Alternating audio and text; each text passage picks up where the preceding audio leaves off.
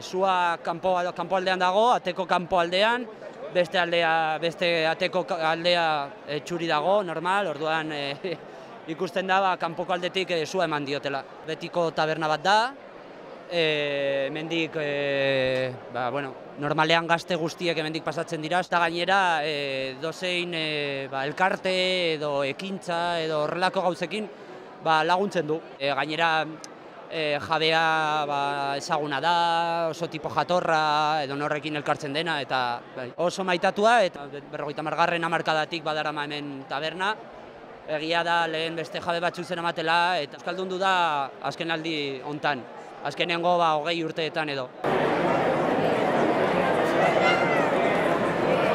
Gaur goizean esnatu garenean, zure eta lur geratu gara. Ikusi ditugun irudiak, iraganekoak ziruditen. Ezin genuen sinetzi, gure tabernako sarrera, kiskalia zegoen. Aldez aurretik, bizilagunei izandako erantzun azkarra eskertu nahi diegu. Beralakoan, larrialdi zerbitzuei e- dei egin baitiete. Sugarrak ahalik eta lehen itzaltzea posible eginez. Honi esker, sutea gehiago ez zabaltzea lortu da, eragin zitzakeen kalte handiagoak ekidinez. Egunean zehar, edonolako berriak entzun ditugu.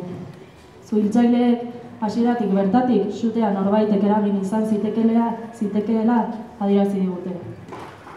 Horren ondotik, gure buruari galdezka hasi gara. Zergatik, zer erakutsi nahi zuten, nor kolpatu nahi zuten, nor da horrelako zerbait egiteko gai. Orain dagokiguna berrosatzea eta aurrera egitea da. Beti aurrera, burua zutik eta ideia garbi.